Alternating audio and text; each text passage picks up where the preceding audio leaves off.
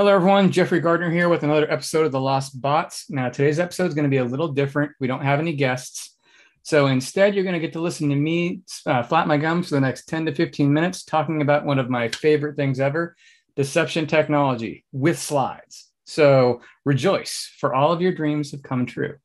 Now, for the two or three of you who may still be listening in, uh, deception technology comes in a variety of different flavors. So I like to call it honey things. Um, why? Because it's fun to say. Uh, but before we get into the actual meat of what honey things are, why, how they work, and some examples, I think we should spend a minute or two talking about a little bit of honey history.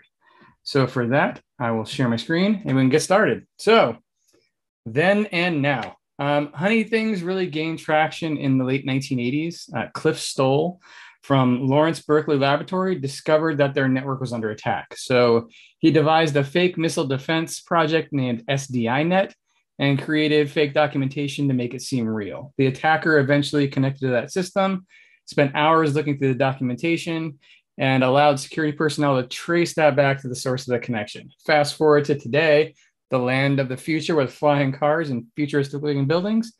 Um, and we have a number of different open source solutions that are available uh, Cowrie, HoneyPress, and a number of different styles of honey things.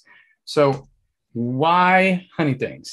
Um, low false positive rates. So, when they're configured correctly and after appropriate whitelisting, you're not going to be swimming in alerts that go nowhere.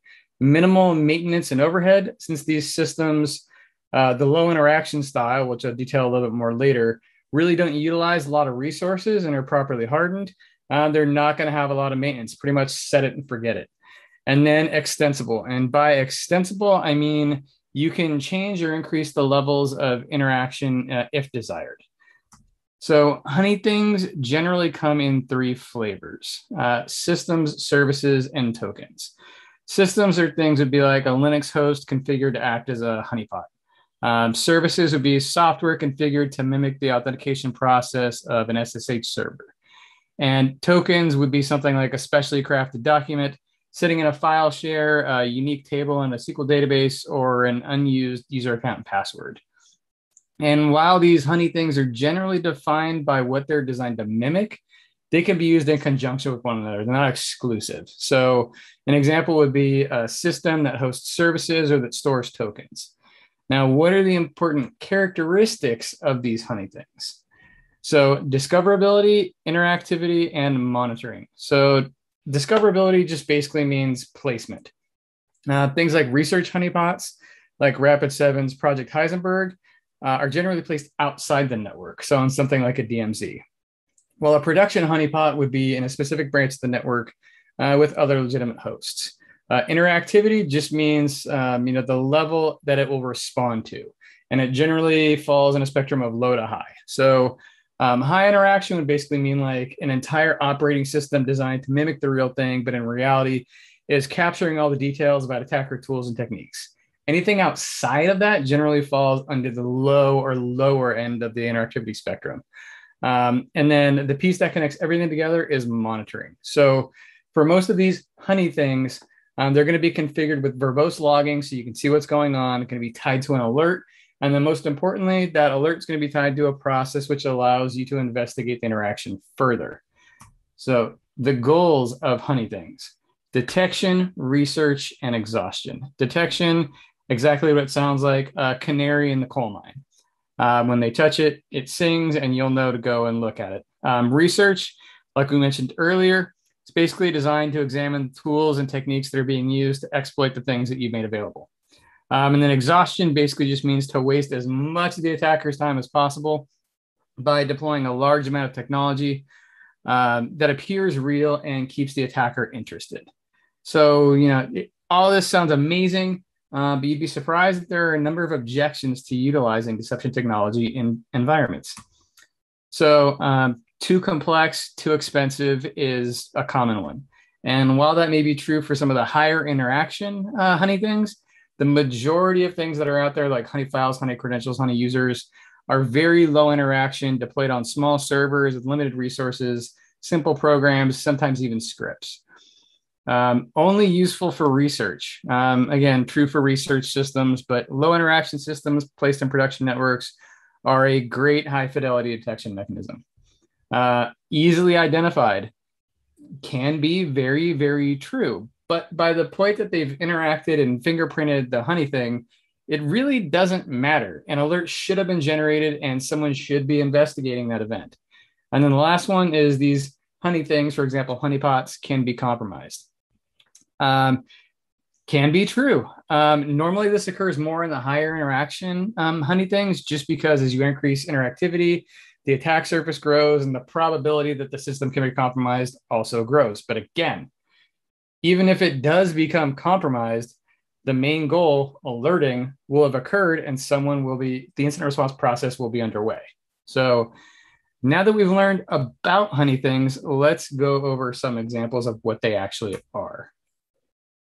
So honeypot, in this case, hosting a honey service. What an attacker would see when they look at this is they'd see a system listening on something like a standard telnet port, RDP 3389. What would they think? The attacker should think this is a legitimate business asset. And this is where the tools, the two schools of thought on deceptive, deception technology comes into play. So there's one school of thought that says this should blend in, should not be seen. It should look as realistic as possible. The other school of thought, which I belong to, goes, I want to make this thing look like a flamingo in a herd of cows. I want someone to look at this and go, what is this thing? I need to interact with it. Um, just to play on the psychological aspects of you know the attacker's mindset. Um, either way works because um, the goal is when the attacker tries to connect, we'll know that they're on the network. So Honey users, um, an attacker sees a domain admin account in the local administrators group. Um, this is one that I've used in the past. Um, the attacker should wonder, actually anyone should wonder, but why? Um, so when the attacker attempts to interact with this account and gather more information on it, we'll know that they're on the network.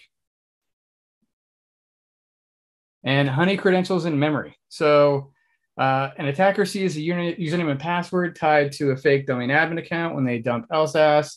The attacker should think these credentials provide elevated access. So naming this like patch admin, uh, Intune admin, SCCM admin, something along those lines. So it'll make them think, okay, I can compromise this account and gain wide access throughout the environment. And then when the attacker attempts to authenticate with that, we'll know that they're on the network. And I did miss one thing, which are honey files. So a honey file is basically when an attacker sees a file in a place they're likely to browse, it should look like it's contains some you know interesting information. So like accounting.db, passwords.txt, uh, do not delete dot you know PDF, whatever it may be. And then when the attacker interacts with that file, we'll know that they're on the network. Um, one thing to note with the Honey users that I forgot to mention is if you're going to set up an account like this, one of my recommendations would be, especially if it's a domain, domain admin, make the password something crazy like 128 character password and then set the logon hours to, to basically be never. And the reason why is we don't want to inadvertently give them a domain admin account that they could actually abuse. Um, so to the end point. Now, I, hopefully, everything that I've that I've told you about here will give you the impression that honey things don't have to be hard and can represent a very easy win for your overall security program. Um, I hope that it's piqued your curiosity about some of these things and that you'll go out and research and experiment with you know some of the various things that I, we talked about today. For example, honey files, honey users. Um, they're very easy to create.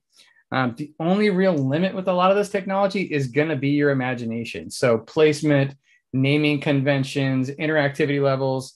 The sky's really the limit. I mean, there's some really cool things that are coming around the pike. Um, honey commands, for example, where you rename the commands on a Linux host so when an attacker gets on a Linux system and then tries to execute normal administrative commands, it'll actually use a webhook to trigger an alert because the admins of that system should know that the rename commands are the real commands and that the normal admin commands are not.